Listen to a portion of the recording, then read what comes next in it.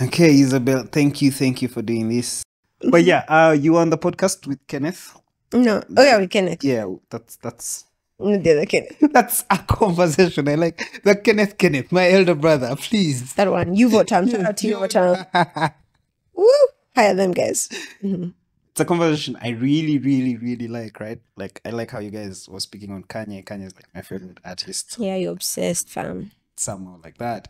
So um I like how you both spoke on like uh, your issues, like your mental issues. So that's the thing. Like it was Kenneth's first time to talk on that. Really? Yeah. Like, Interesting. okay, good. You're coming on my G. Yeah, yeah, yeah, yeah. You're doing it, you're doing it, you're doing it. Dig into the uncomfortable stuff. Yeah. Exactly. So I like that. Then the fact that you performed at Oktoberfest, something I have poured my whole life into. For like Oh, so it went well. Great job, you I like that you liked it. So that uh let's start there. You performing at Oktoberfest. Mm-hmm. Your music. Um, uh, let, let me let me take you behind the scenes. So I bring you up in that boardroom discussion, right? Sisi Dennis like everyone is like, okay, no, Dennis had no objection, right? Alright. Uh, so, but there were like about other nine guys in, on the boardroom, Mm-hmm. and we're like, fine, she sings well, but no one knows her, all that stuff, all that stuff. Like, okay, we, we it's a marketing thing. I was like, no, she sings well, and that's all we need to really put out there. Mm. Like, let people appreciate. It's a festival. Let people appreciate new talent. Let Mm-hmm. them appreciate very good music. Let us introduce something they can actually grow into, right? Mm-hmm. How do you? How are you using your music? What does the music mean to you? Yeah. Yeah, like um I think it's something I mentioned the last time with Kenneth that my principle that has been really tested lately is that art and its expression always is first for the artist. Um when you look at the creative process and like even just mine thoughts turning into lyrics turning into a song begin with my own experiences, my own ruminations and then come to a stage, let's say Oktoberfest. So I think the times I have neglected or deprioritized that principle, I've really suffered as a person. And um, yeah, there's been this quote, I think it's by Charles Bukowski as well. It's like, you betrayed yourself and it was all for nothing. Like the times I have done different music or used a different process, not because it's a bad process or it's not good music, but it's just not coherent with the dynamism of my journey as an artist. And for me, that's what's important. So, yeah, yeah, yeah. Oktoberfest is a big deal. I'm so thankful for opportunity and even just understanding like the history of the festival because that's what I'm about. I'm like, why are we celebrating a German beer uh, festival in, in Uganda? And like, what some of those things stand for are personal, I think, aspects or salient aspects I have embodied in my whole life, right? Mm-hmm. Because, like, and it's also something I mentioned with Kenneth, because, like, I'm a Ugandan, but what's Ugandan about me? Yeah. I'm like the globalized post colonial hybrid Ugandan mm-hmm. that is listening to music from other countries and to be involved in something like that is important. I mean, I did German in my high school and you had to do it because the prerequisites in school are you have to do one language, right? Mm-hmm. But I kept on trying to rationalize the use of that. Like, why isn't it Luganda and like Runyankore? It's French and German because this is the reality of the world we live in. It's a globalized world. And for me, it was really amazing to just remember my Kalito German and like speak it for a point at the show and just see like heads turn in acknowledgement and see people respond. So I think for me that was the highlight to like be able to tell people, Hi, I'm Isabel UG, I'm a Ugandan with my own story, but I'm meeting you in your own culture celebration. For me that was my highlight. I know it's really I don't know, it's not I don't think it's normal. But like that's where it is for me. That was that was a highlight what Oktoberfest in Uganda stands for. That's why it was important for me to do it. It's Yeah. How are you using these performances to connect to your fans?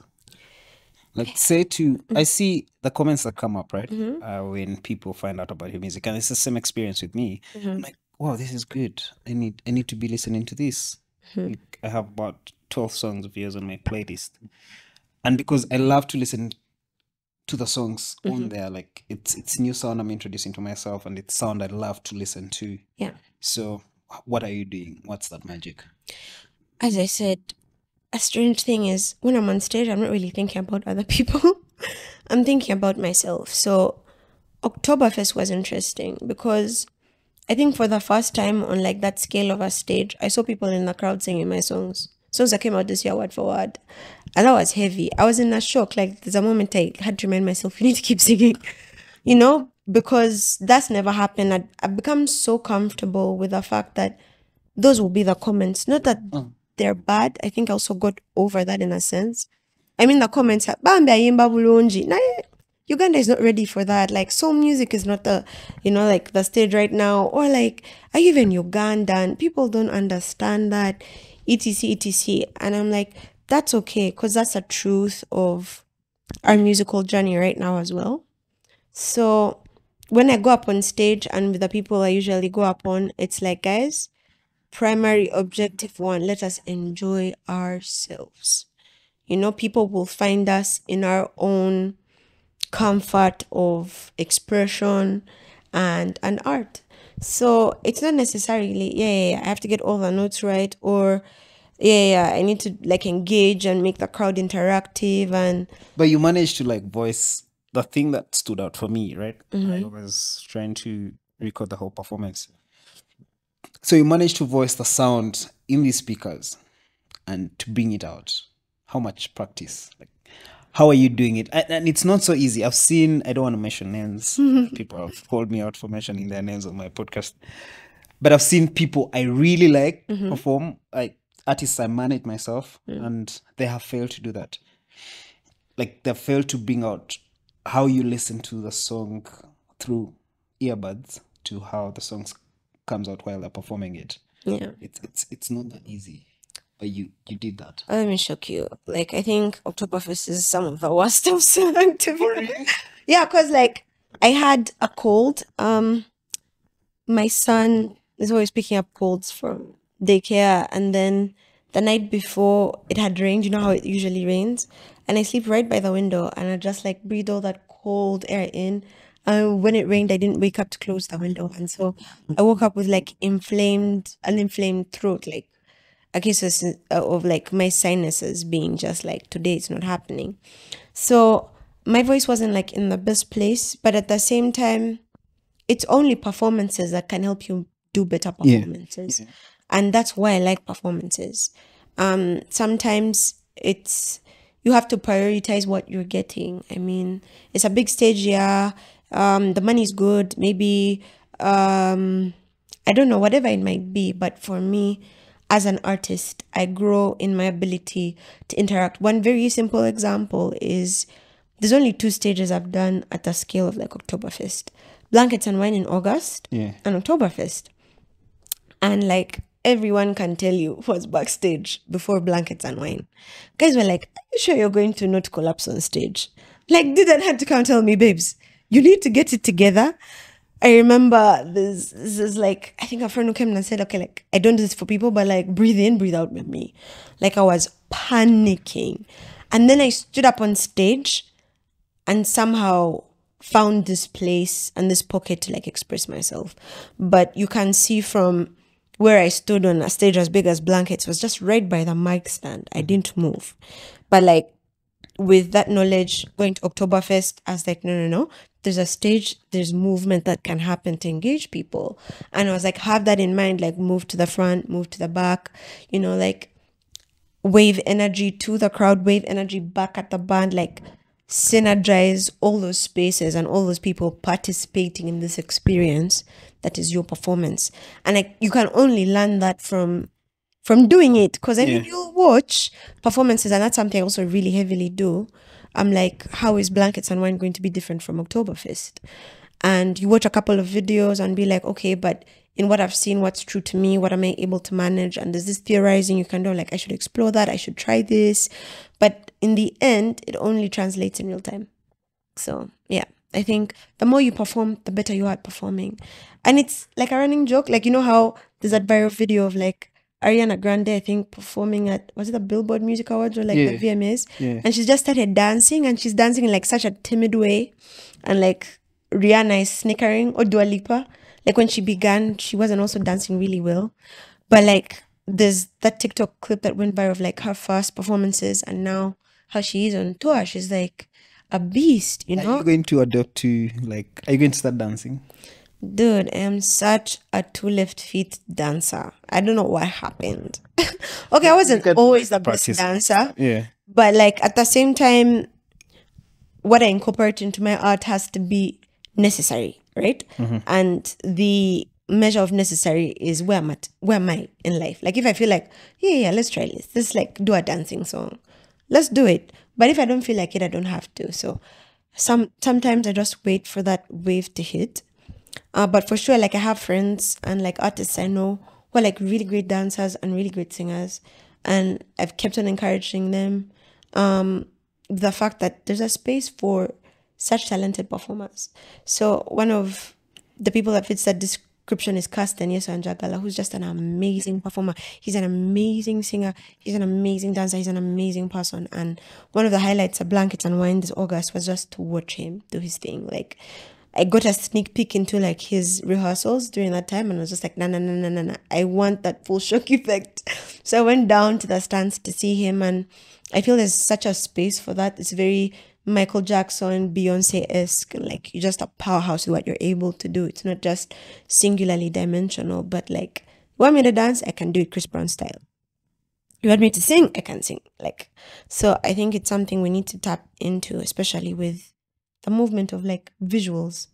A person singing and dancing, those visuals are going to really travel. So So you're going to do it. Oh, man. Yeah, we shall see. Basically, see. when like the mind is like time to dance or we can dance, we'll do it. Yeah, but I think at the same But time, you're open to it, right? yeah. Yeah. But still, even like my kind of dancing would be like, what was that Ed Sheeran song where he did like a ballroom dance?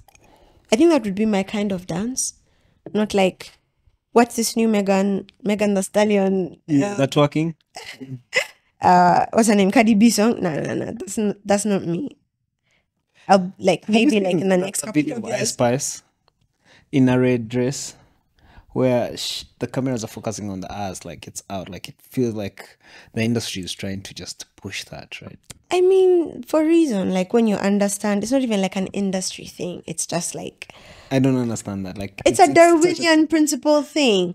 When you ever Google the question, what makes someone attractive?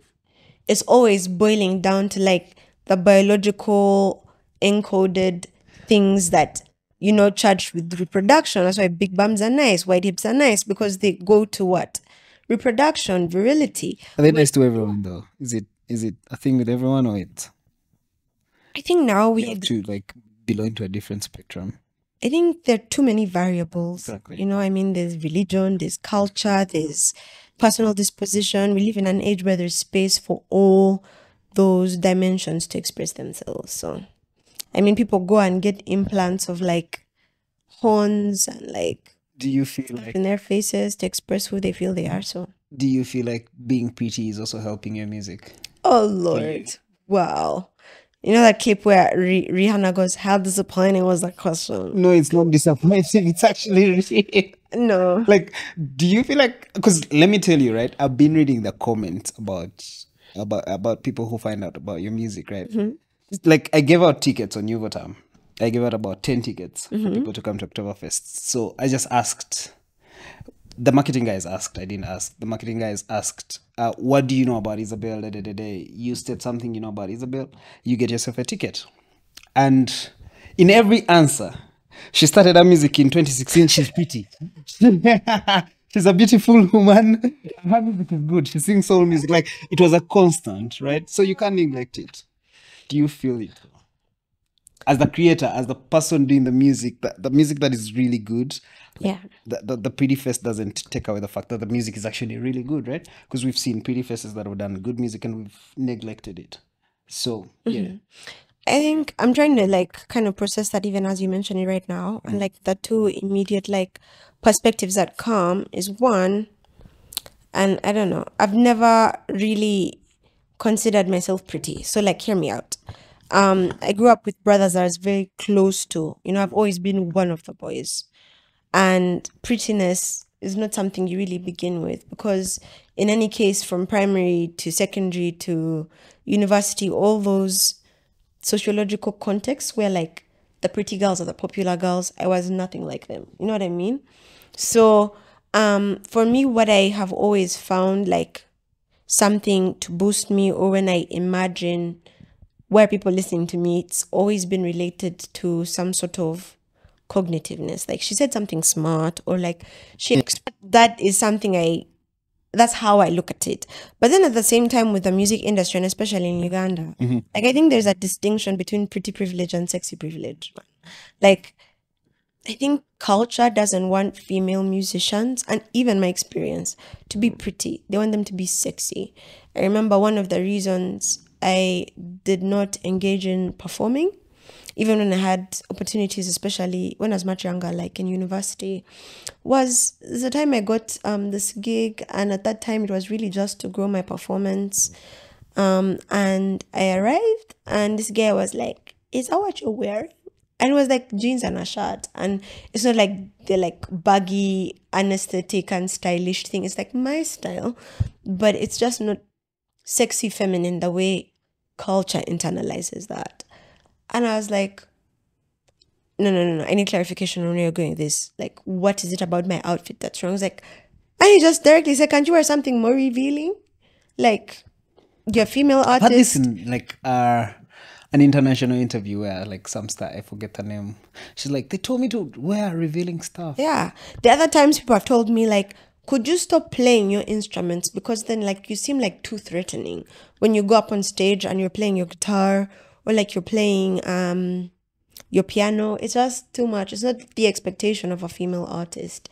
And yet, like, my artistry is really like all of all, all of that. There's a time a friend of mine caught this in a clip in a recent interview where I was just introducing like my creative experience. I'm like, I'm a singer, I'm a songwriter, um, I'm an instrumentalist, and I'm a producer. And the person who was also female kind of went, Is a girl is a girl allowed to be all those things? Like is it is it even right? Like mm-hmm. that was the essence of what she was saying. And you know, like I didn't feel any type of way about it because there's been so much work and understanding that no no no. This is what's around, this is what the culture forces like females to internalize. So it's not like I'm this babe who's like, oh my god, be yourself, don't sexualize. us." Like, write your own story. If you want to shake booty, shake booty. That's like your in- interpretation of your feminism. But at the same time, if this is my space and my interpretation of like my own personality, even as a female, I should have the freedom to take my piece with it. So yeah, I think that's that's my perspective on it. But I wouldn't call it pretty privilege. It's like sexy privilege, man.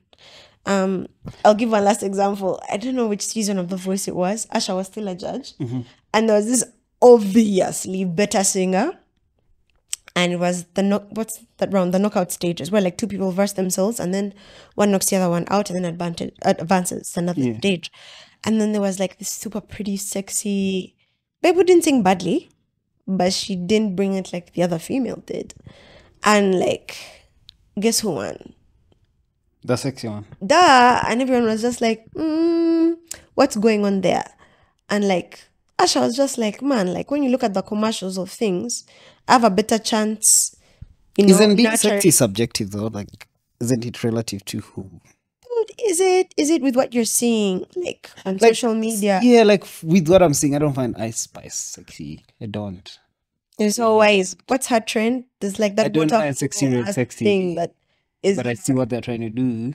yeah but like But I'm like, okay. maybe you are like that 1% or that 10% of that Maybe. smaller demographic but for sure there's a template of what is sexy for women. Otherwise people wouldn't be risking their lives getting bbls in colombia. So like for sure you have to come to terms with that like yeah. It just saves time. Plus it, it works very well as i said with what's biologically encoded in us. So yeah. That's my take on it. Okay, so yeah, also on the podcast with Kenneth, right? Which is my f- one of my favorites on Big Conversations. Uh, it's like top three. It's so you speak of your bipolar disorder and uh, you, you try and break it down because you're relating to Kanye West in the podcast. But then I realized that all my friends, right? Um, one of my friends, so I own I own and produce very many podcasts. That's just not this. There's one I produce that is specifically just on mental health. It's the Mindspace podcast. So the guy that gave me the idea has a bipolar disorder. He's owned it, but he's super, super creative, right? Like he's super creative. Like he's been creative, he's been smart. When we were at college, he was acing. So I've always wondered how how does your disorder affect good and bad, right? Your creativity. All right. So before it affects it, there's a way it relates to it. Yeah. Um, and this is something I also saw in um, other people. It was always creatives that had mental illnesses or mental disorders, whether it's Van Gogh was in an asylum most of his life. Mm-hmm. All his happy pictures were in asylum. Like when he was really stable, that's where he was. Whether you go to Virginia Woolf, Sylvia Plath, that both committed suicide and they're like amazing creatives for me in loving these people's art and then realizing that mental struggles punctuated their lives i was like there has to be a synergy and when you look at what mental illnesses are they are a response to trauma right? And what is trauma? Trauma, so I also talked about this with Kenneth. Trauma is anything that we fail to process. Yeah. Right now, if we are here and like a, a cockroach jumps, yeah, yeah, we might like move a bit, but there has been enough information to know that I can probably just crush it or I can swipe it or whatever. Like it's not as harmful to me. Um, and biologically, that's that's us snapping from a disruption back to our baseline, right? So um, homeostasis. I don't know if you remember your biology when everything in an environment is perfect for is perfect for like an organism or whatever to thrive. It's homeo that environment homeostasis. We have it in our bodies, but also have it like connected to our psychology and you know physiologically as well. So when it doesn't, when you're not able to snap back, that's allostasis. But like, our body works to teach us to adapt to trauma to survive. So a snake, for example, falling from the ceiling on this bed might be traumatic, but it won't compare. Same man, but it probably won't compare to like seeing your friend being shot dead mm-hmm. because it's harder to snap back into whatever it is, rationalizing that, accepting that, dealing with that. And why creative people are usually mentally, you know, like suffering is because they're sensitive. Sensitivity is the intersection. For someone to be creative, they have to be sensitive to their own emotions. They have to be sensitive to their own thoughts. They're observing the world, they're observing themselves in the world, they're observing whatever it is. And they're synthesizing that into various forms, not just words, but creatively. If it's a poet, she's rhyming. And in that rhyming, they're supposed to, you know, like evoke some sort of emotive reaction, but then some cognitive tingling as well. You know what I mean?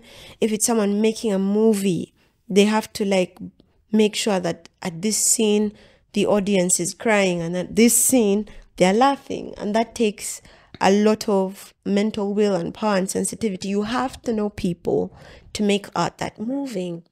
And even before they're artists, they're just sensitive people, right? Mm-hmm. So just imagine how much more life affects a sensitive person. And there's this page I follow on social media. As this person really just joking about like mental illness and the reality of it. And basically, what they were saying is that all those teenage people who used to write in their journals, I'm like, I'm so sensitive, I'm so emo. How is like therapy and like your diagnosis going? Because that was me. I always used to feel really affected by things from from childhood. If my parents punished me it know it wasn't just a punishment. I think my brothers could rationalize yeah yeah yeah. They've caned us or they've punished us we'll be fine. I'm just like am i a bad child? Am i a bad person? What is my future?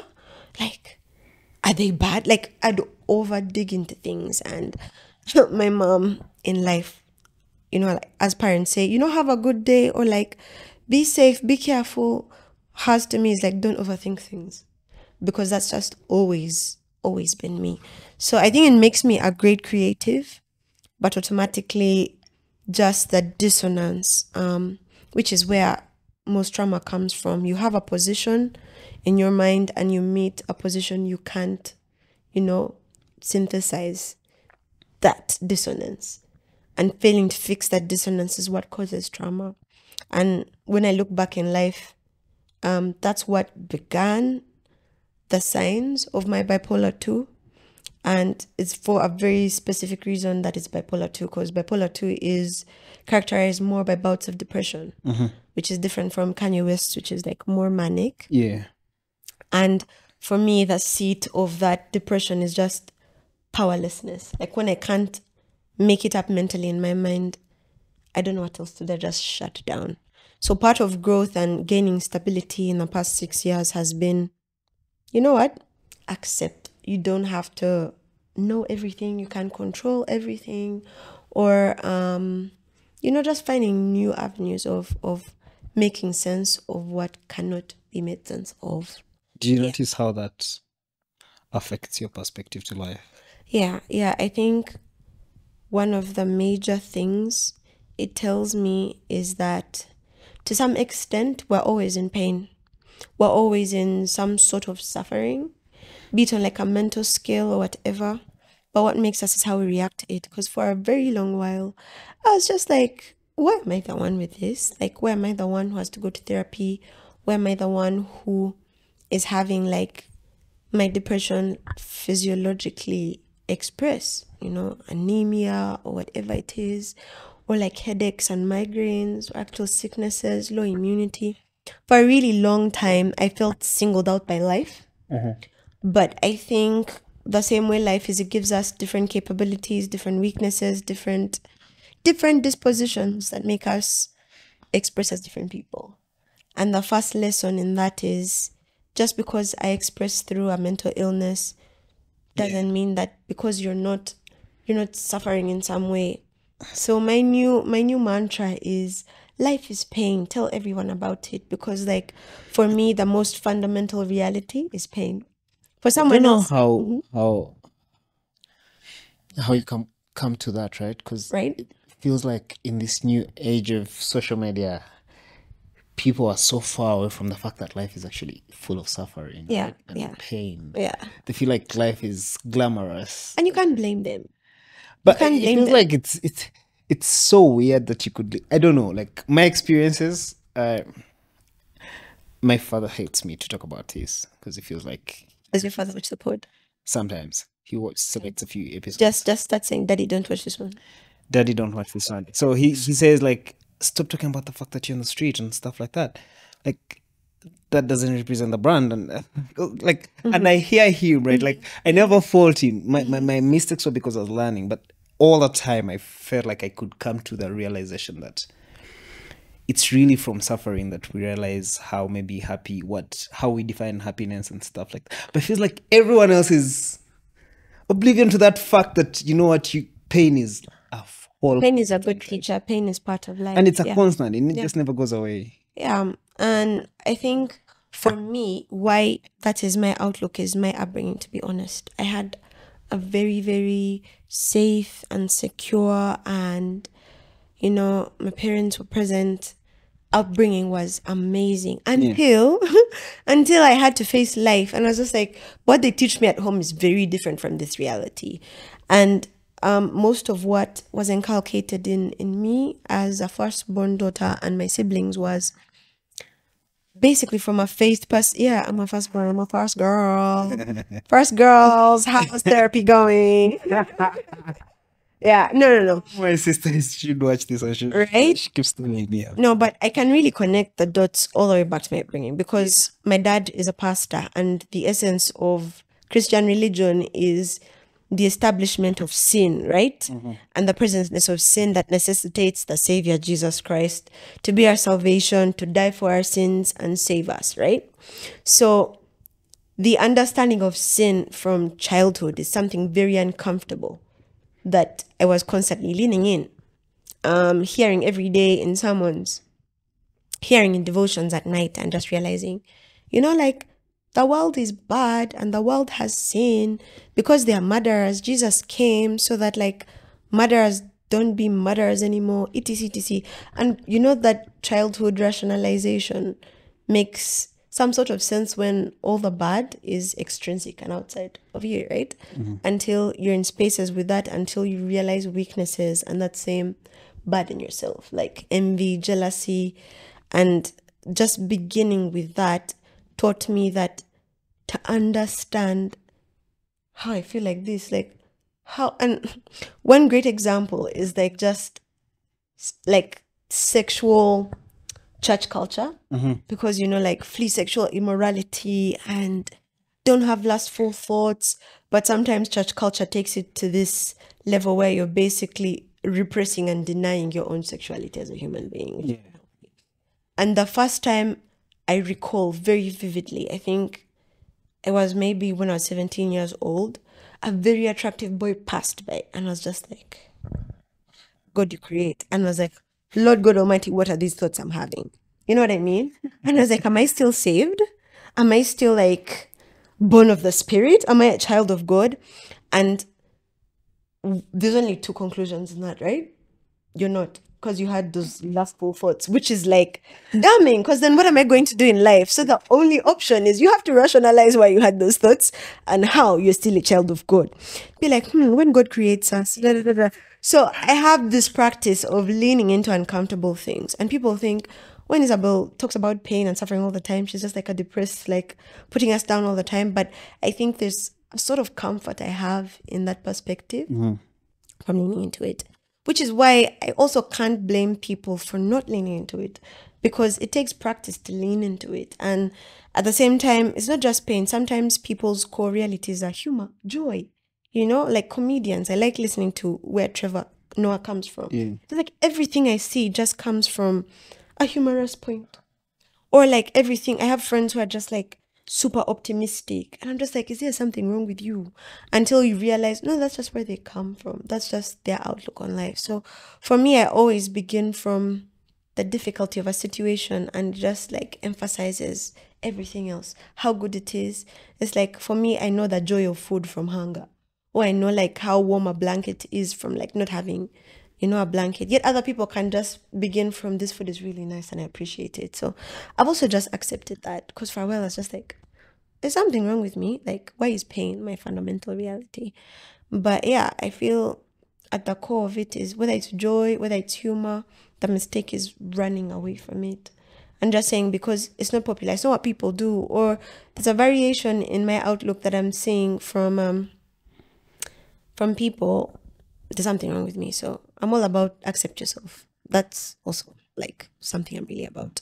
Yeah. Okay. Uh, we've been talking about pain, right? Speaking Mhm. of pain, how have you handled uh, being an artist? You're a mom. Mhm. Have you handled adversity in your life in general? Yeah, how are you coping up? Dramatically. That's how I've handled it. But Dramatically? yeah, yeah, because like What do you mean? you know, like First of all, I don't know. You you keep referring to drama, but I don't see any drama. Okay. what I okay, the essence of drama is some sort of exaggeration or hyperbole, right?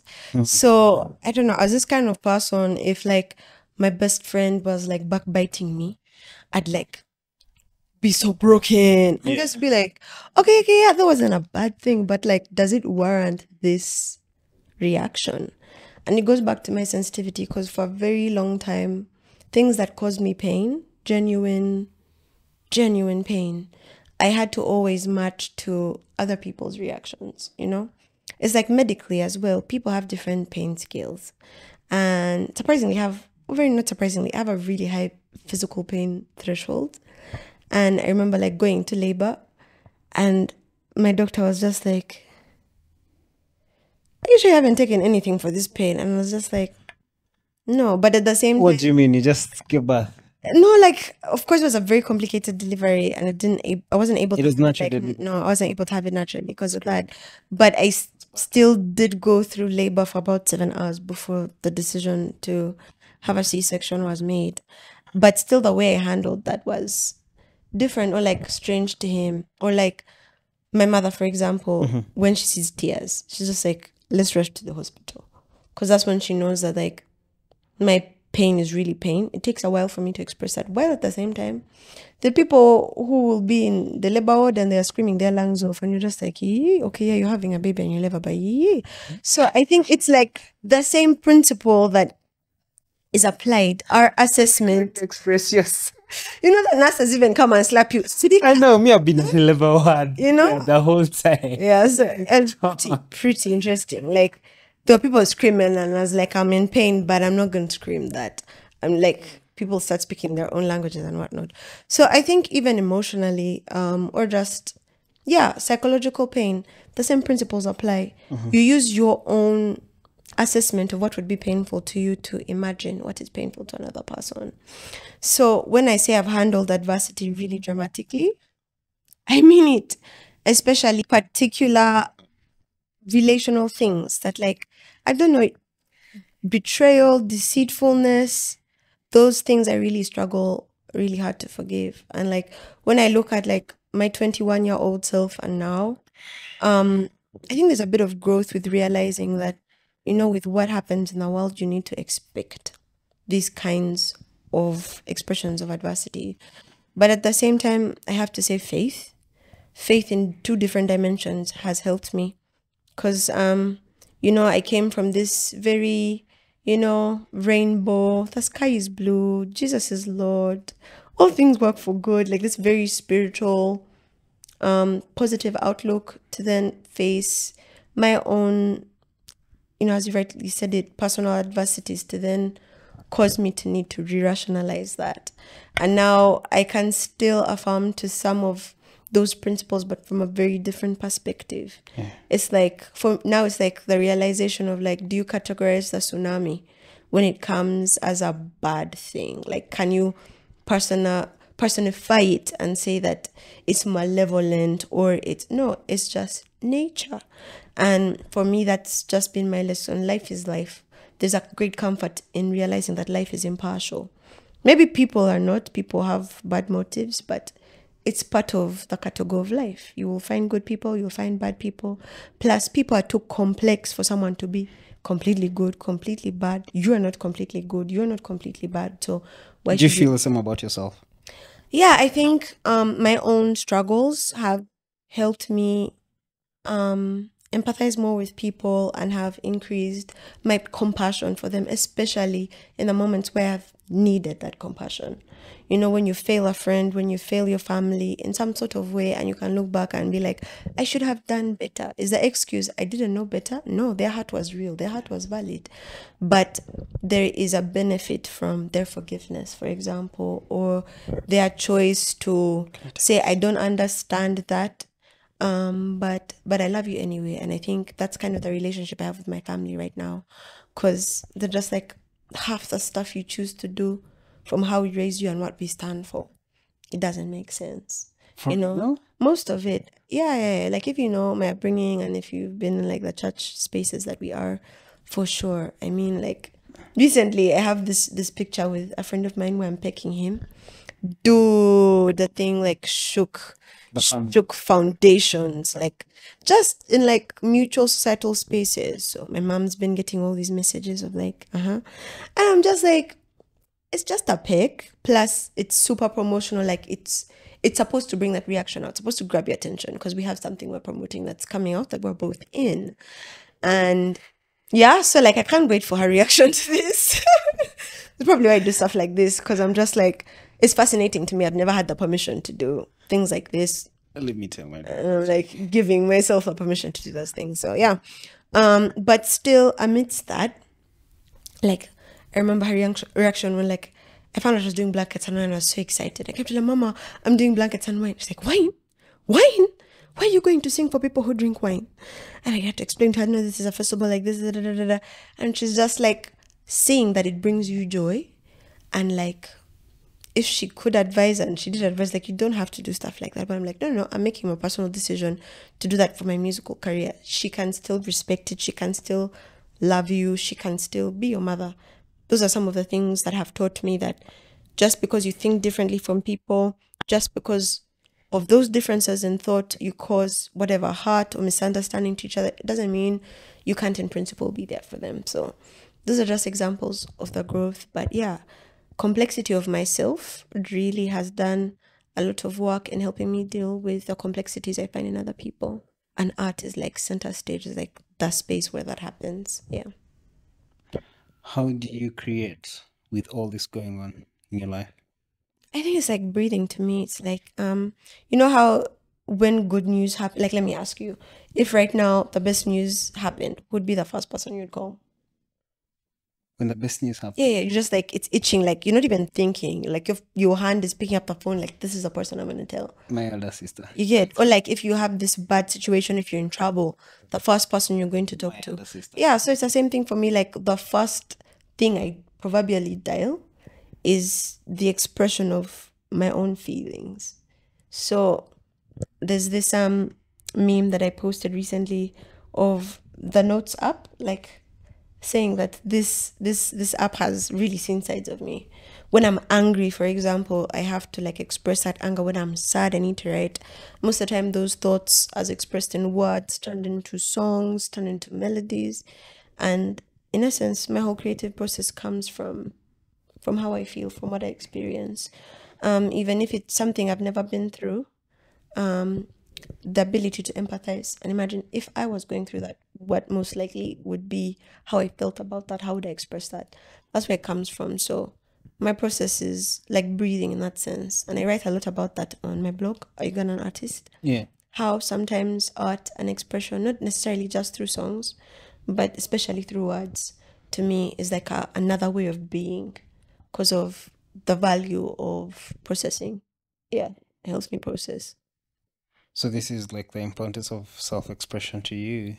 Yeah, I think it's inevitable. I think it's something we all do in just different ways because we're dealing either If you had a flexible schedule, I'd, I'd, I'd, I'd have you as a host on this podcast. and it's just Cute. people I overtalk. Something in me tells me that like I would not It's have none the about what- discipline of like letting people talk. But the, the thing about this podcast, it's that like it it doesn't matter who's talking. Like a discussion. Yeah. I like that. I think that's why like I do this pod. Yeah. So cool, yeah, but no. That's why I write my thoughts anyway. And like they're heavy and they're long and I'll get a couple of reads, but it's more for me. Like expression always is about me and like in the sense that's psychologically where it begins. Art is always for the artist. Yeah. So So because you're an artist, do you feel like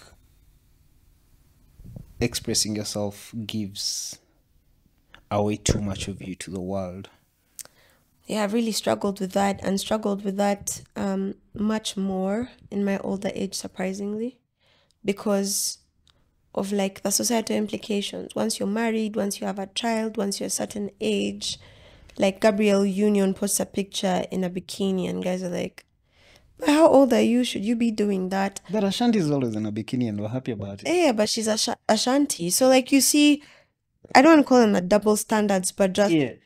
the surface I'm- the surface perspectives from people so um something that i've had to lean into only because i've experienced how detrimental the other side is is expressing and being vulnerable anyway because you know there's a time i reached where whether it was my tweets or my musical taste or my music or my dressing all of it Earlier today, you said your, your, your wardrobe was very intentional. Yeah. Yeah, I think for me, style is also a part of self expression. And for me, the Yeah, primary principle, First, man. thank you, comfort. I don't want to be in like something I'm pulling down, or I feel like, oh my God, this is going to like tear, or like I need to suck my tummy in, or I need to make sure my back is straight for the pictures. I mean, all those things are important, but like, I'd rather just not be thinking about that as I'm performing. But at the same time, I want to feel nice. So, Good, good, good shots. yeah, comfort. Yeah, I like that picture. It's my DP even right now. Um, comfort is key for me. Well, for other people, it's other priorities. So in self-expression, it's really me centric. Wherever, wherever you begin, whether it's my, my style, my dressing, my my music, kind of everything, has to begin from me because it's for me. So yeah, I think that's what What do you think about marriage? For someone who has been married. I think it's difficult. Um, and not because of the generic things, but I think, you know, we've been talking about the complexity of people. Yeah. Like it doesn't get more complex than that. Just imagine the level of intimacy on all levels. Like in every single way, someone knows your thoughts, someone hears you snore, someone, you know, sees the best parts of you, someone sees the worst parts of you. And what it requires is maturity because you have to look at those parts in someone else that you don't like, right? And make a decision, right? Say, I'm going to love you nonetheless, or I'm going to stay around nonetheless. Or sometimes it's a realization that was a facade, right? Which is what we're all going through. I mean, like, dealing with people, you can't really trust that who they present themselves to be is who they are. But as I said, life It's powerful. is impartial. It's part of figuring life out. What are you going to do with that decision, right? It's up to you. So for me, I think marriage is only different from any other relationship that we typically have in life because of the proximity. yeah. But whether it's your child, whether it's your boss, whether it's your colleague, whether it's the driver, whether it's a stranger in the shop, they have the same complexities and therefore the same abilities to bring you joy, to arc you, to downright annoy you. The difference is at work you live, the shop you walk out. The child, maybe, I don't know, whatever you do, maybe you beat them, you get the nanny, you get some space, but the husband, the wife, is for life. And I think psychologically as well, there's that pressure of like, oh my God, oh my God, oh my God. There's like some relational claustrophobia that culturally can can exist because of, of those realities. But I think I learned it from my parents, having had my own experience of maturity, of, of marriage, like that required maturity yeah. like I always used to look at their marriage and think, oh my goodness, they've been together so long because it's been perfect. It's been perfect for these reasons. But to realize that they've gone through very normal difficulties in marriage It's just the maturity to make that decision to stay. And not just to stay because, man, I made a vow I have to stay, but there's a reason I want to stay. There's a home we've built, there's children we're raising, there's an example we're setting, whatever it is, they find their why. Mm-hmm. And and it really centers them. But it feels like so when you look at what has been happening on the internet, right? There's been a thread on marriage. Yeah, like the Twitter thing people, yeah, that Twitter mm-hmm. thing.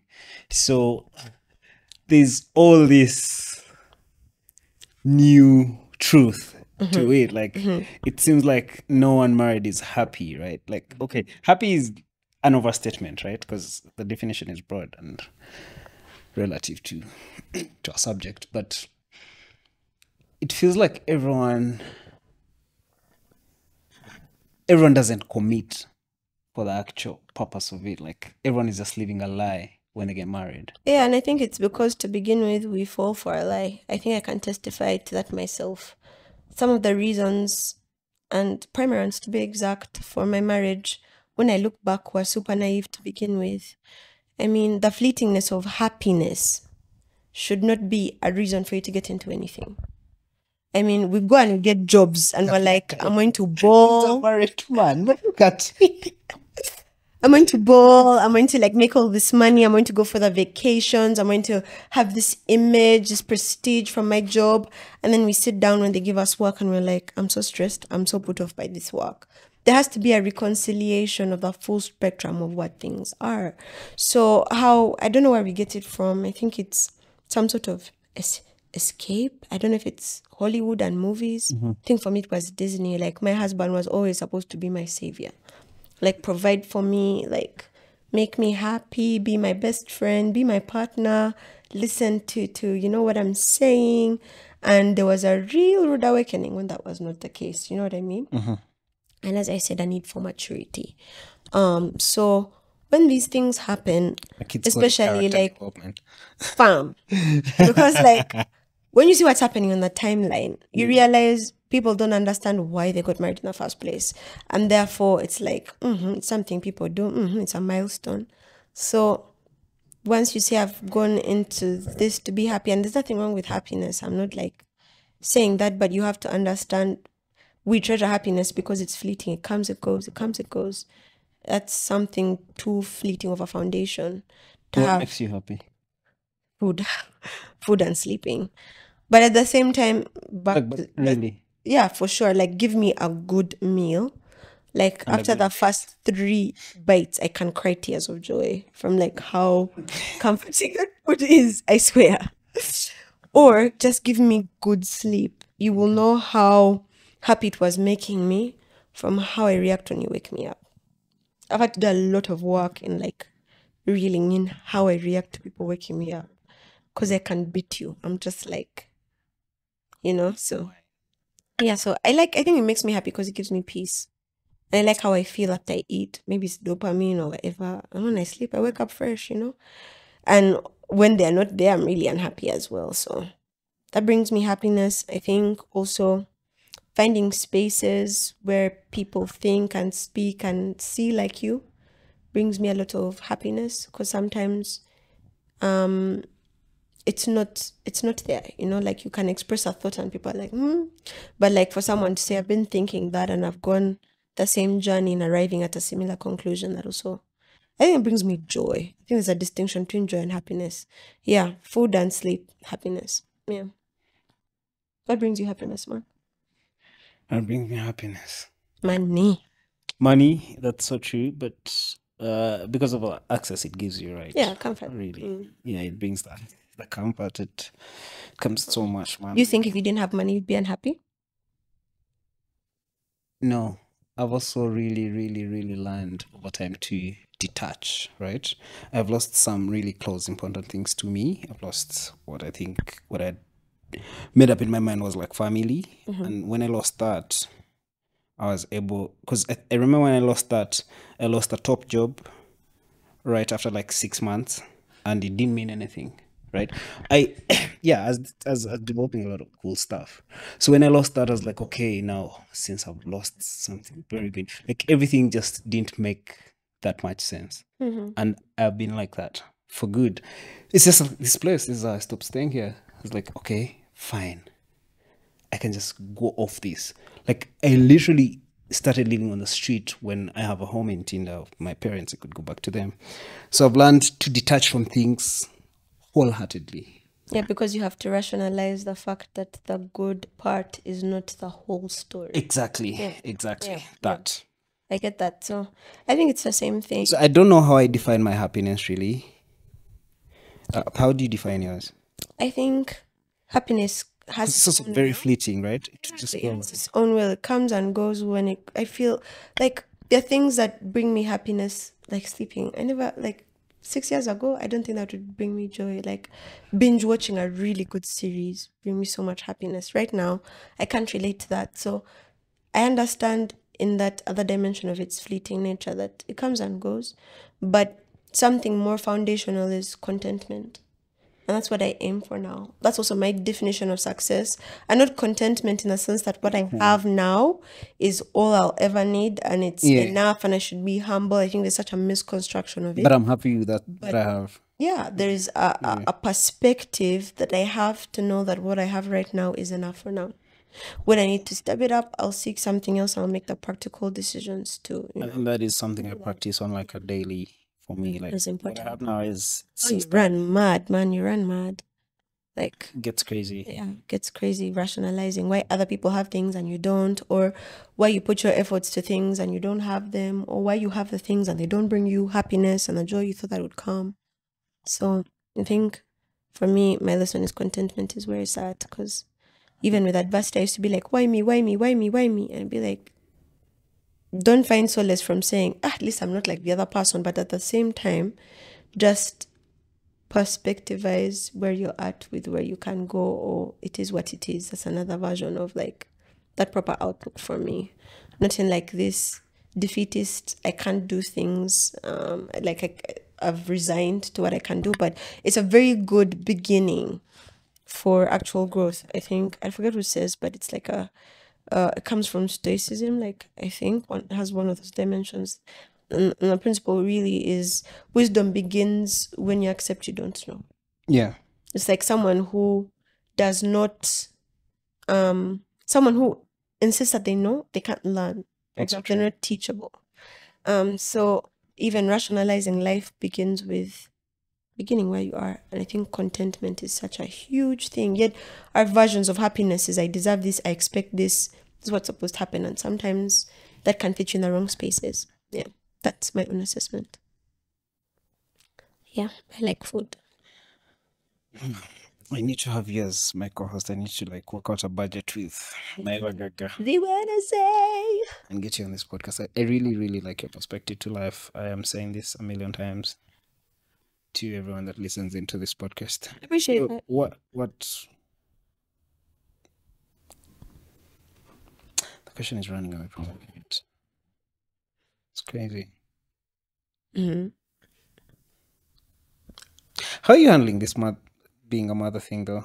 Being a creative, like how does it I think motherhood is one of the biggest shocks in my life. At the time, I found out I was expecting for a very long time. I had just resigned to the fact that I was not interested in motherhood and I was incapable of being a mother because that was like the most confused time in my life. It was about 24, 25. I didn't figure stuff out about myself. I'd imposed like this deadline of 25 years and there I was expecting. And I was just like, I feel so sorry for this kid. I'm really going to mess up their lives. But at the same time, I found such joy um, from it in, you know, beginning with empathizing. Like if I was my son at two years, what do I imagine? What do I imagine he would he would need? He'd need his curiosity to be met. He would need emotional availability. He would need provision. He would need, you know, everything that gives him the best opportunity at life.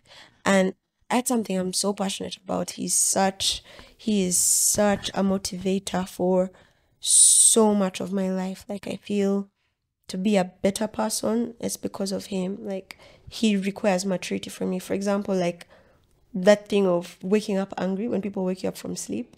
You can come so excitedly from somewhere else and you're like deep in like some a dream of a dream of a dream. You're like that inception level and it's really good. And he's just screaming from here saying, Mommy, mommy, mommy, mommy. And you have to teach yourself that like he get is genuinely excited about the cat doing this. For you, Have you been used to it. have you lived with a dog? No, I don't like animals. Ah, okay. I've lived I've tried to live with a dog. It got lost when I shipped. It got lost uh, for real, yeah. Just a got lost one. Oh, fam. Just a got lost. I, I still feel hard about it. So this is what happens, right? It, Uh-huh. it moves out. It's raining heavily in Naalya. We just moved to a new studio, so I think it tries to trace the old studio. so because it stays at the studio, it never Yeah. yeah, I leave it at studio. I didn't get lost like like like that. So dogs usually leave marks, but it rained heavily that day. It could not trace its way back home again. But the thing about dogs is they're going to love you. Like it's frustrating sometimes. Like you come back with so much anger and will be there. boom. So it was a house dog, right? It's it's, it's a Japanese Spitz. So it would just move in and jump on you like, okay.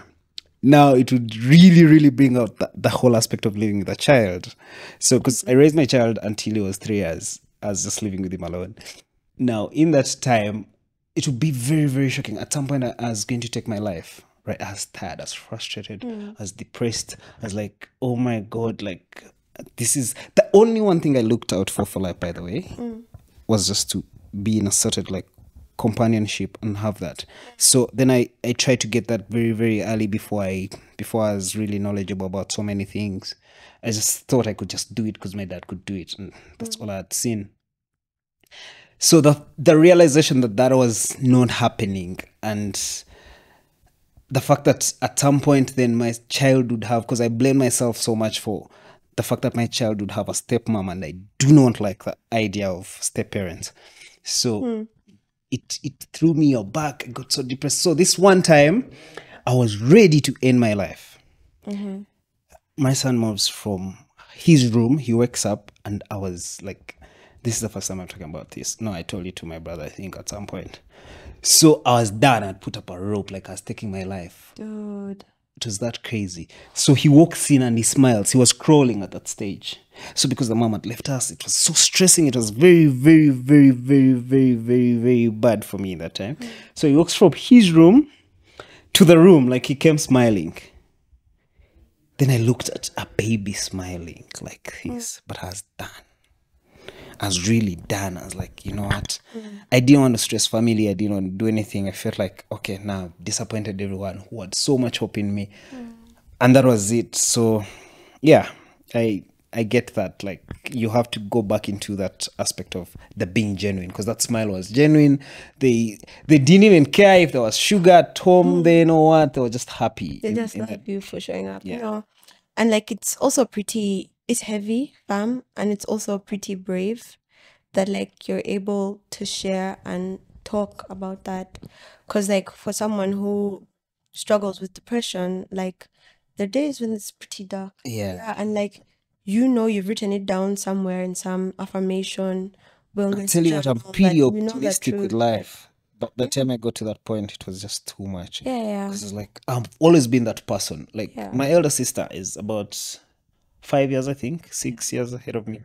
But she just counts on my energy all the time. She's like, you know what, you are the guy.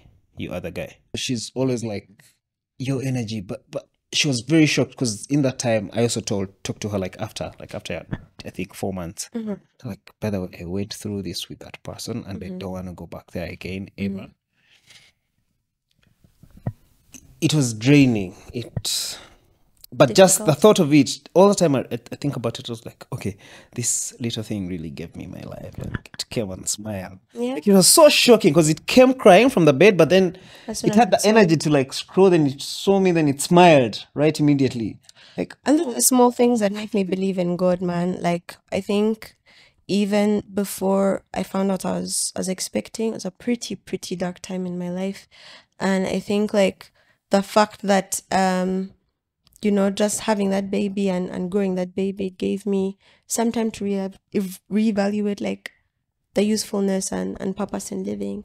But I have to ask you, as someone who's like also been to like pretty dark places in that sense from from life situations and you know psychological adversity where does the strength and the vulnerability and the comfortableness to say that publicly right now come from knowing that you know like if this is like a twitter clip people can run with it and like have their own narrative and and their own opinion and and yeah there's like just a lot that's ripe for stigma.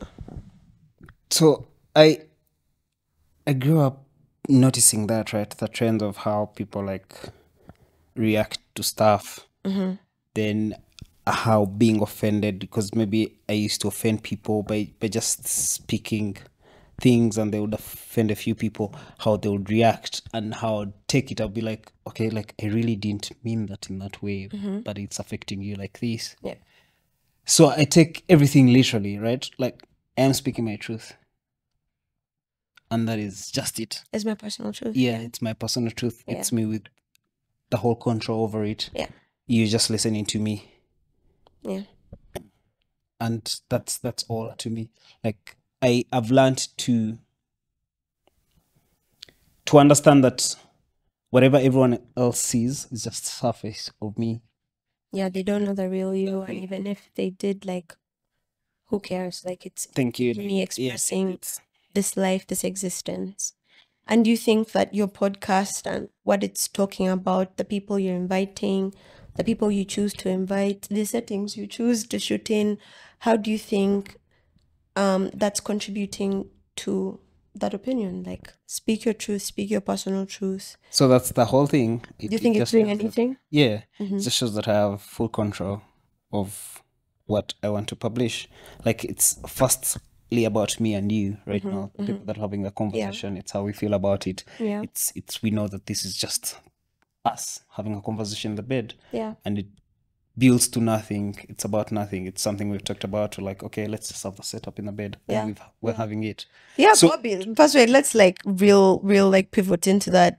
Yeah, you really need to explain to people why we're in a bed shooting a podcast. really it's, it's about the Drake thing. I was like, okay, I, I think because the interview was very boring and very Was it? yeah, I think it was very boring. No, I think it was different. You know, like I know in a time. Like, why are you saying you don't know Lil Wayne on a podcast? Like, who says that? Because it's impossible. Like, okay, That's- you're just saying it because you know it will take our attention. We'll be mad about it. exactly. Like, don't trigger us. But I'm not trying to do that, by the way. And I've got backlash on that because when uh, this podcast is actually not just done by me, right? Yeah. There's a whole team after that's going to do the editing, that's going to do the short clips, that's going to do the social media. I do not like listening to myself. This is, I edit everything else at studio apart from this podcast because it's me who hosts the most. Because you're self-critical of your Yeah, that like exactly. Like, I'll be like, okay, no, I didn't want to say this. Take it out, then it will kill the whole conversation. So I don't want to get into such a place, or I don't want to to waste people's time to that level. This guy will set up all these cameras and the lights. So when Yeah. you start telling them that's not being published, they'll feel some type of way about it because they put in energy. So I don't know what I'm saying. we're talking about the Bobby and Drake thing and like the fact that um you noticed she was doing that to like Yeah, attract so- people, but then you went into how like your own expression of that is. Okay, so let me just follow up in in this sense then. Um, how do you balance your own relevance, right? From vulnerability, which is the point of a podcast, with the fact that it should be commercially viable. Because you know that if Bobby maybe was her real, real self, I mean, she's a 26 year old with two daughters, who got, she has a whole different life, but she wants to create a space for people to talk about things from a different angle. Like her whole ethos is awkwardness, you know? Like what what do you do when it's awkward and you have to sit there and say something? And what do you do when I I I, I, make it even more uncomfortable? I appreciate that, yeah. So maybe sometimes the things she says, like I don't know Lil Wayne, it's like, really? Like it's like saying I don't know who Obama is. I'm like, well, we all know who Obama is. We all know you know who Lil Wayne is. But at the same time, this kind of um reaction, you could say, is useful in getting her art noticed. So, like when you do this, like I know, yeah, yeah, you like Drake and you appreciated that I episode. don't like it. Is is it you don't like Drake? I just okay. podcast. So for whatever reason, we got this idea to do this from yeah, there. From Drake, like he's a superstar, he's a trend, he will set a trend and stuff like that. So it's like, oh, it's cool, like people are actually going to see it. Then why I chose you to do it is the bigger question there. because it's super anti uh, what's the word antithetical like this is the last place isabel would be Exactly. that's exactly why i chose to do it because everyone's just be like what were you like, doing in me- bed with that mark guy? Those are the questions. And needs to be so bad for you? Because, oh my God. no i live for it. I think i think maybe at 50 years there will be some sort of hindsight opinion of like we get what you are trying to do younger isabel but maybe this wasn't the way to do it. But for now one of the ways of setting boundaries and being myself because i'm really affected by i think i'm a people pleaser i think gro- yeah i think i am like growing up in a very structured home in very structured settings my default has always been what does the culture what does the setting what does mom and dad what does you know whoever it is what do they need? And one of the reasons i realized or i've been realizing in the past year and a half that i can be a follower in some senses is because I've always thought that being myself was too outrageous, you know? So one of the ways I've been practicing um destroying the power, the fear of that has over me is just by completely busting the bubble. Yeah, like if people are just coming and saying Isabel is gone, I'm like, okay, so you're gonna g- give me more freedom to be myself Like because nah, nah, nah, nah, nah, nah. It's like, It's like okay, you want to say I'm mad? Let me let me show you that. let I'm me show you madness. Exactly, but I can show you madness. in that sense, but in some ways I can relate. I think I relate a lot to his necessity to be himself. Um, and Do you feel like you're not yourself I think, s- at so many levels? yeah, yeah, I think there's, I haven't even scratched the surface of like understanding who I am, and that's something I'm really curious about, which is why I'm so excited about my 30s. Um, but at the same time, it takes time, takes growth. You can't just wake up and you're unafraid of the repercussions of making your own decisions. Like, um, like when my marriage ended, it had repercussions on me and and my how I was be perceived in society. It had repercussions on my son and like him being in a healthy home. Um, How did you feel about that? Like the fact that there's no healthy home anymore. Okay, health is relative.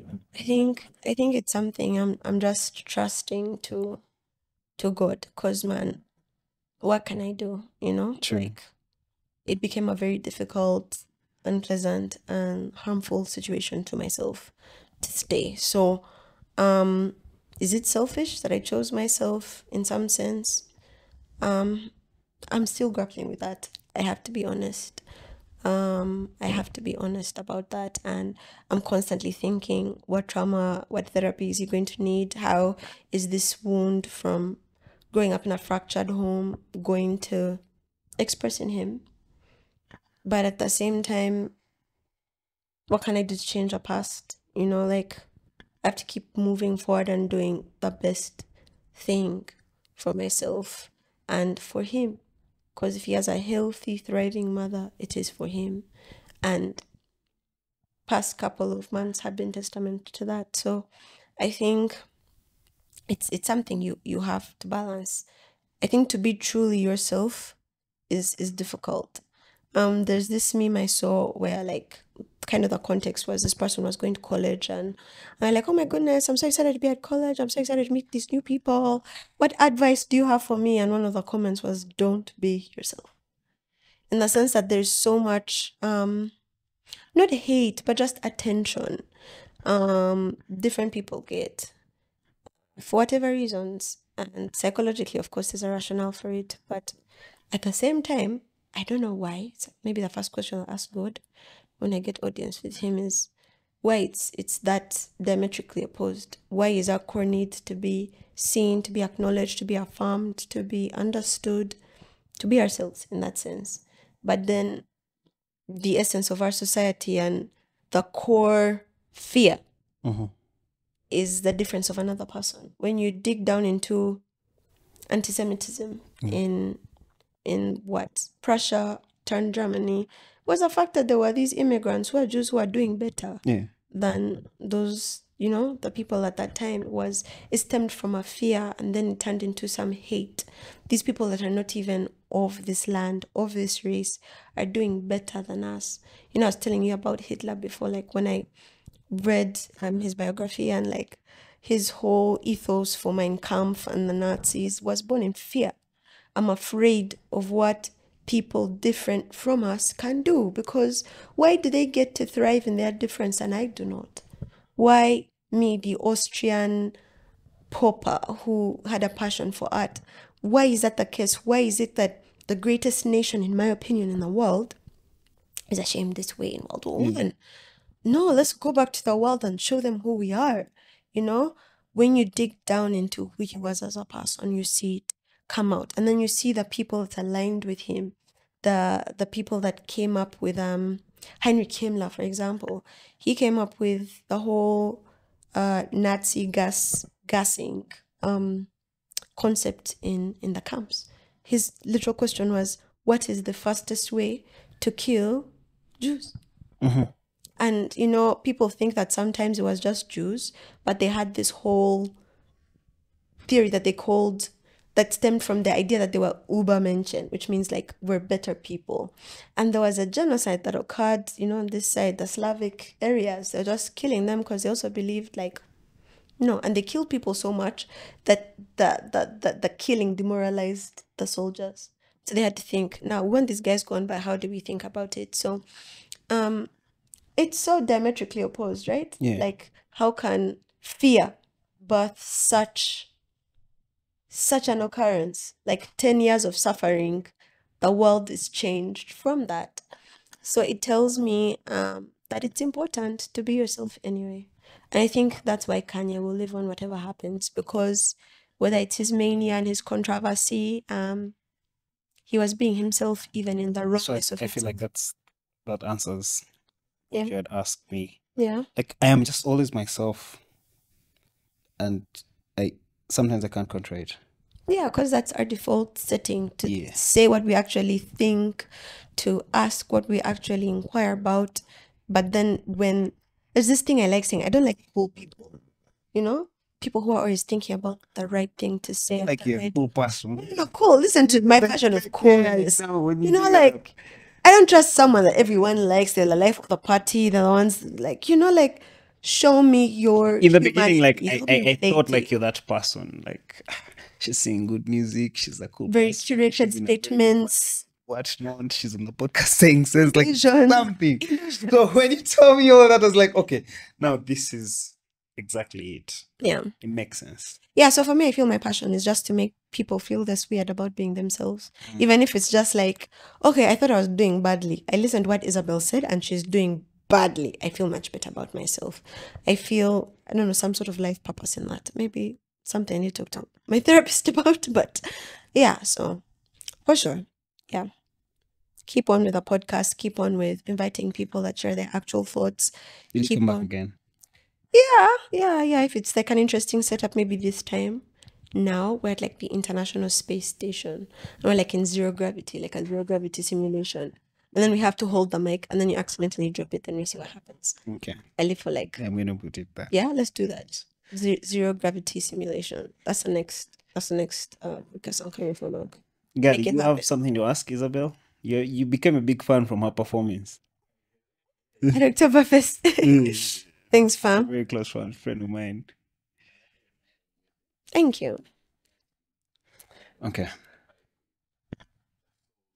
One question from you, one question from me, then we close. All right. Yes, Mark. Karen Wamala. What does Karen mean by that?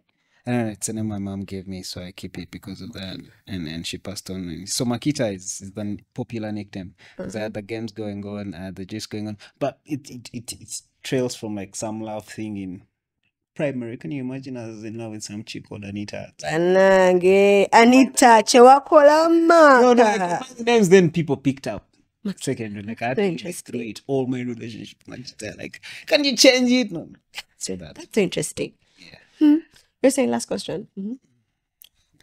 What have you made of life for now? What do you think of life?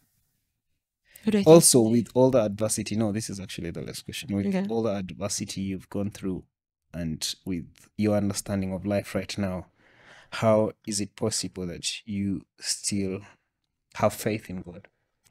That's a good question. Um, but I think it begins from the place of if I lose that hope, What would you have? what do you have? And um, I like philosophy because it meets some of these questions. And existentialists live to answer this question. So they say there's something called the absurd, where the logical flow and expectation of life in our minds meets irrationalities, right? Something absurd like your mother dying of cancer. When you're a young child, you need your mother. Somehow, life has decided to be this absurd. So different existentialists have different um, arguments for how to react to that. And Camus was a really laissez-faire guy who dealt with very, very difficult questions. And one of his answers was really, really hard to believe, but I think in some twisted way was my liberation. Um, you just accept it. You just give it a big hug and accept that it's absurd. The moment you try to rationalize something absurd, it's defeat it, it can happen because the essence of an absurdity is it doesn't make any sense like in the ways you cognize you will not find a pattern coherent with something that is absurd Yeah. so while he made other conclusions, um, for example, that to depend on religion it's like a sort of psychological crutch, or suicide is cowardice, because this is what happens when you meet the absurd. We all have what they also call it the dark of the night, like those moments you meet yourself. It's the hardest time, and you become who you are. Or um, the bildungsroman, like when you look at the coming of age things, that character goes through the worst that they thought would happen. After it's happened, somehow they are liberated. Dark night of the soul. Thank you, Leah. So, um, yeah, they face that the worst that could happen, and then after it happens, they feel liberated because it happened. And then I like what's this movie called? Um, Whiplash. Have you watched Whiplash? So J.K. Simmons, I've forgotten the director, but, But a I'm really- gonna watch it. brilliant guy. So he's like this drama in a jazz, jazz, jazz, jazz band, and like uh, the, the the conductor is like really, really, you know, intense, and his biggest fear ideally is to mess up or to not be good enough. So he practiced crazily, you know, like his his hands would bleed, and you know, eventually his obsession with that um makes him fail. So they have this big performance, and in the middle of the performance, like he blunders crazily. And he stands up and walks out. And as he's walking out facing that, something just dawns on him. Like he's liberated. He comes back and plays the best he's ever played. And the movie ends with the conductor smiling. Such a bully. So it's like one of those screenplays. Another example is like Black Swan. You know, like how she was so obsessed with being good. She denies herself. She like sexualizes herself to get the part. She gets a part. And then she has to meet that part of her. Her liberation comes when she embraces the black swan that she was avoiding to be or didn't want to be. So I think there is that liberation in just giving absurdity a big fat hug and saying, I don't know why you are, I don't know why you are, but for sure you are. And I think I found more peace with that. Stop asking yourself, why me, why me? It's not you should ask yourself, why not me? Like just accept that it is what it is and do your best with what you can. Did you ever think about the why me in the positive bit of it? Yeah. And I've been there, man. Like nothing good comes from it, you know? Even if it's what some sort of productivity, I found it breeds like a lot of comparison, it messes with your esteem, messes with your self concept. But if you just begin from I can accept what I can't rationalize, it's a, a healthier place to make the next decision than determining what life has not determined for you. Yeah. That's what I can say. The absurd is absurd for a reason. But I've also made sense with that, right? That one thing I practice so much, I'm going to say this in in very very very awkward way. So Ho- the reason as to why I so in the beginning, I really, really, really had a problem with things not going my way. Right, I am my last born to my mom, and uh, my dad had to like get into another and the whole thing. But you still get those favors, right? Yeah. You're the one they're introducing to. So I've grown up with that mentality of, you know what? Uh, all my uh, my dad keeps reminding me, every other child he had before me, they were renting, but he had me in a house. Like I had built at, mm, mm. so he keeps reminding me of that. Tells me you have all the favors, Mark. Like you don't have a reason to complain with this life. Like mm-hmm, all the time, mm-hmm. like he keeps telling me that. Like Yeah. at least with your case, I've aligned. You've never faulted on school fees or stuff like that, and rightfully so. Mm-hmm. But still, I feel like life is still that harsh, Yeah. right? Yeah. Yeah. And I have to live with that. I hear that. The universal law of living states that uh, life moves up and down. So dealing with that has been so hard. But Like now the with imposition time, of his perspective of gratitude, contentment, success on your own experience. with time though, trying to like find like a relationship has taught me that things don't have to go your way Yeah. all the time, and Yeah. you just have to accept it. Yeah. Like regardless of what you do, like it doesn't matter. Like things just can't fail to go your way. Yeah.